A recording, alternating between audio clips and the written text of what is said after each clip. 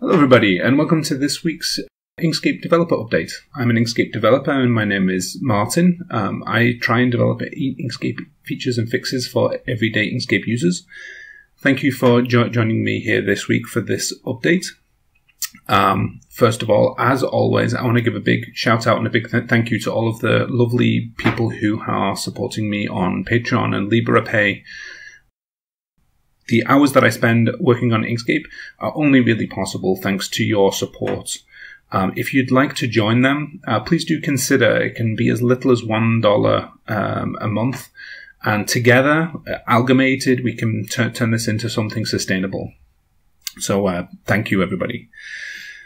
This week, uh, first of all, I fixed the remaining PDF import issues that I mentioned last last week. I did that at the weekend. Um, now PDF and SVGs are importing multi-page correct correctly, which is nice. Um, so the bulk of my time this week was actually spent on the um, new export and dialog, which some of you may have seen from the tweet that, that I put out. Um, I've actually resurrected this branch from a Google Summer of Code pro- project by uh, I think it's Anshu- Anshudhar. Uh, they had gotten quite far with this feature. They, you know, produced the user interface and done quite quite a lot of it, but they'd run out of time. And um, sometimes this isn't as important, but the um, the export dialog is a uh, it's a dialog that has been needed to be refa- refactored for a long time. So I felt like it was in, like more important to get it over the line. Um, plus, I also wanted to get some of my own features in. Um, the multi-page stuff like exporting multi-page pages can't really happen until uh, this merge request is done. So, what have I done? Ah, Martin, what have you done? Uh, so, okay, so let's walk through what the export di- dialog now looks like in this uh, branch that I'm processing right now. Uh, we have the single and batched exports split out into two different tabs. Um, I added the multi-page support to the single export mode. Basically, sim- sim- simply select which page you want to export. Um, and you can see it actually shows the uh, preview of the image that you're going to export in the di- dialog itself, which can be very helpful, especially if you use the uh, you know only export the selected items uh, and various other op- options. So you can see exactly what kind of image you're going to get in the output. Um, I actually had to rewrite the uh, preview code here because uh, it had issues with aspect ratios and backgrounds and re- rendering issues. So uh, it ended up just being easier to rewrite it. Um, but it looks it looks very very nice. Um, you can also see how in the actual dialog itself you can now select the export type. So you can select from a number of uh, raster options like PNG, JPEG, uh, and so on. But you can also select SVG as well.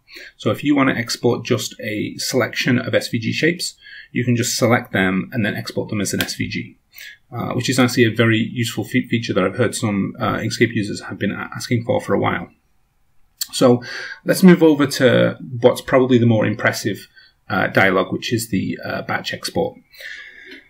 The batch export, I mean, it was in the previous dialog. You'll probably remember it was just some, something added to the bottom of the dialog, but now with its own tab, it can really have its own room to breathe.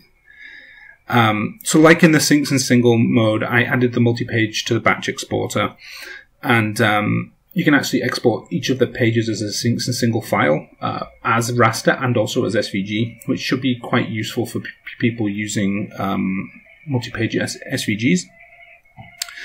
Uh, most of the fixes on this dialog that I've done have been in the back end, cleaning up widget uses, cleaning up the way in which it uses Inkscape code. Um, but it's actually quite quite impressive. You can create multiple exports for different formats and then just export them with a suffix for like all of the places that you want. So maybe I want uh, you know all of this this selection to be an SVG. Maybe I want you know these three page pages to be JPEGs, for example. Um, this dialog, as you can probably see, uh, is a vast improvement from the pre- previous one, but there are a lot of problems remaining. Um, some of them are cosmetic, uh, but a lot of them are stru- structural as well. It's going to need some more work, I think. So I'm going to give, give myself probably about two weeks to work on this dialogue, try and get it finished for, for the release. And uh, hopefully we can get this into 1.2 because I think a lot of people are going to be very interested in seeing this. Um, that's about it. Uh, if you can hear a strange whistling in the back- background, it's actually my heating system that's just kicked on. Uh, so thank you for bearing with, with me all the way until the heat is required. And uh, I'll see you all next week.